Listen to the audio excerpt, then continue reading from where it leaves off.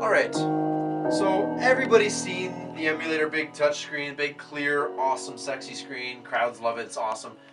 But a lot of DJs have been saying to me, what about me? I travel with my backpack, I travel with my computer. I don't want to travel with this big, huge screen. Or, you know, the clubs I play in, they don't necessarily have room. The stages are already pre-built. I can't set this up anywhere. What am I going to do? You know, I want to have a touchscreen. What am I going to do? So, if you follow me over here, I'm going to show you the answer to that. This here is a touchscreen tablet. Now, I still have the other screen hooked up, so I'm going to disconnect that. It still works. And now you have a fully functional emulator to go. Everything about this is fully functional. Now, DJing on this would be a little bit difficult because you're, you know, you, you tip it over and it would be ridiculous to DJ with this.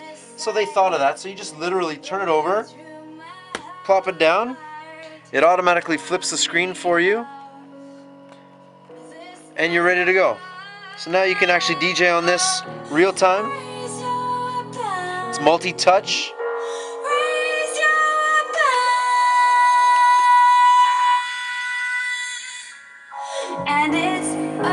You can do everything you can do with the bigger touchscreen. It's real time, it's very, very accurate.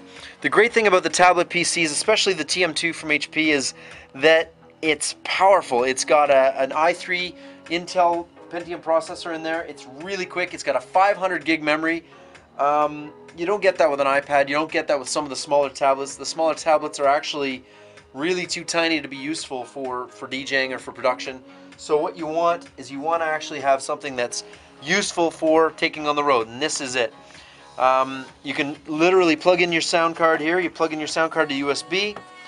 Your sound card right now we're using the Audio 2 DJ by Native Instruments. Very great sound card, nice and clear. I've actually plugged my headphones directly into it instead of bypass instead of the mixer. You can actually go to somebody's house, plug it into their home stereo, put on your headphones, and you're ready to go. So you've got everything you need at your fingertips. Setup time with this is approximately uh, 40 seconds. So you're up and ready to go, whether you're at a club, whether you're at a wedding, whatever you're doing, you're up and ready to go, and ready to go, woohoo, in 30 seconds or less. So, woohoo, there's the tablet emulator, and woohoo, see you next time.